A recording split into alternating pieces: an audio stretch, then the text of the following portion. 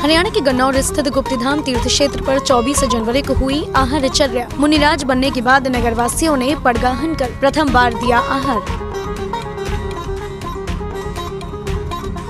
अजमेर के मदनगंज किशनगढ़ में 24 जनवरी को मनाया गया तीर्थंकर बालक का जन्म कल्याणक। पंच कल्याणक में 27 जनवरी तक मिलेगा, आचार्य श्री वर्धमान सागर जी महाराज सत्संग का सानिध्य।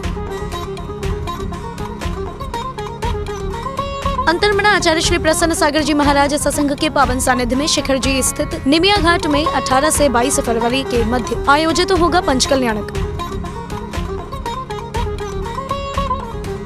दिल्ली में मनाया गया आचार्य श्री अनेकांत सागर जी महाराज का नौवा आचार्य पदारोहण दिवस सीबीडी ग्राउंड के देवम पैलेस में हुआ आयोजन।